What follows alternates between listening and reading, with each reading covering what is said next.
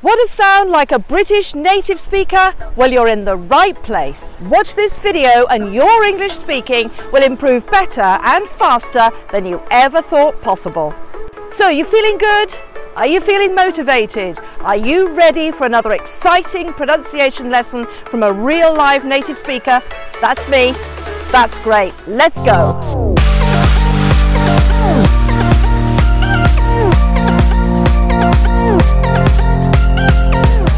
My channel where you will learn English better like a native speaker and welcome aboard Palm Tree Teaching English Academy. For the very best pronunciation and English language lessons and a new way to learn English that really works, don't forget to subscribe to my channel by clicking on the red button and the bell and catch my twice weekly lessons.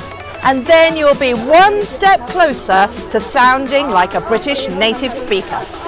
By the end of this lesson, you will have improved your English pronunciation and you will be able to use and pronounce one of the most important vowel sounds in the English language and one that non-native speakers often get wrong, and that is the U sound.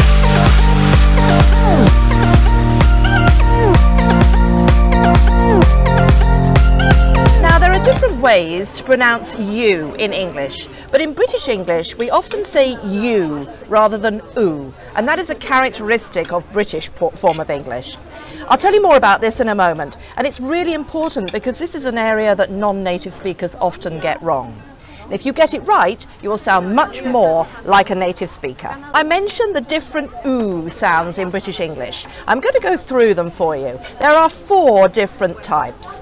The first one is the uh sound, and it's in words like cup, duck, luck, but. And all you do to form that sound is just drop your jaw to make the sound. So it goes ah, like that, duck, like that. So in a sentence, it would be I dropped the cup near the duck. The second oo sound is the reduced u. It's not oo, it's oo, such as put, bush, sugar. Now to form that in a British English way, you don't make your lips quite as rounded as the full oo. It's more of a slight rounding of the lips. So it's oo sound. So in a sentence, she's put the sugar under the bush. Okay, now we come to the full oo sound with words such as blue, two, goose. And this is a much tighter rounding of the lips and a much more tight, stressed sound. So it's ooh, and you get a much smaller ooh here, and the lips come forward. So it's things like the blue goose stood next to the two boys. And the fourth sound is the characteristic British English U, which we use quite a lot, as I mentioned before. And it's in words like you, cute, duke, university. So a sentence might be, the cute duke went to university. Now, this is quite different from Americans.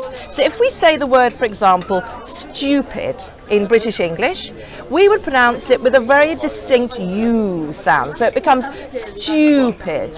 Whereas the Americans would make it stupid, stupid. And that is very much the differentiation between the two. We look at another word. Let's look at duty. Now, British English is duty whereas Americans would flatten that to make it duty, duty. So also you can hear the difference in the American T. Now I've talked about that in my first pronunciation lesson, which you should have a look at, where they turn the T into a D.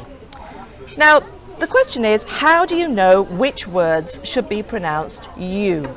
Now I can help you with that because there is a rule. If you have a U sound plus a consonant plus E or I, it becomes U. So for example, with cute, you've got a U and a consonant, which is the T, and an E. So, how are you going to practice this? Well, again, I can help you here. Here's what you do. Firstly, you practice the words that I've given you and practice making sure that there's a difference in the U sound. So cup, duck, but, and then put, bush, sugar, blue, two, goose. You, cute, duke, university, stupid, duty. Practice those words. Then practice the sentences. Now to help you with this, I've listed the sentences and the words below this video so that you can do it on your own. Then make your own sentences with each of the words and practice saying them. So you could start with something like, I wanted a cup of tea as I was thirsty. And move on to, I hope I get good exam results because I want to go to university. Then, if you're a teacher, you could get your students to make uh, practice their own sentences by creating their sentences and practicing together in pairs.